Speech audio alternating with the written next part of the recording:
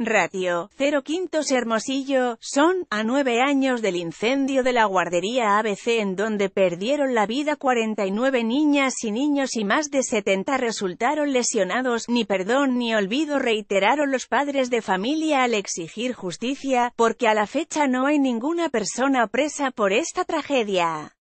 Luego de realizar la marcha por la Justica que partió desde las instalaciones que albergaban la guardería, ubicadas por el periférico sur, llegaron hasta las escalinatas del Museo de la Universidad de Sonora.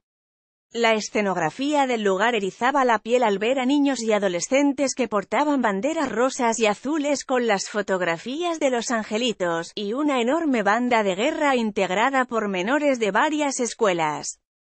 Algunos de estos niños y adolescentes son sobrevivientes de la terrible tragedia ocurrida el 5 de junio de 2009. Pase de lista luego de algunos discursos pronunciados por padres de familia, se hizo el pase de lista de cada uno de los pequeños y en cada nombre, los asistentes al unísono decían, no debió morir.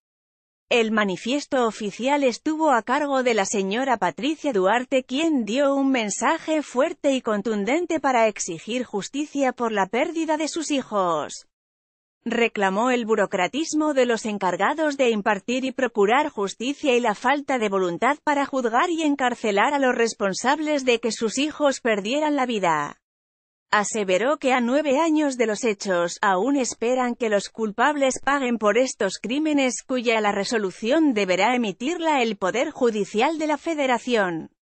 Organizaron varias actividades para recordar a los pequeños durante el transcurso del día, los padres de familia organizaron diversas actividades en memoria de las niñas y niños que perdieron la vida.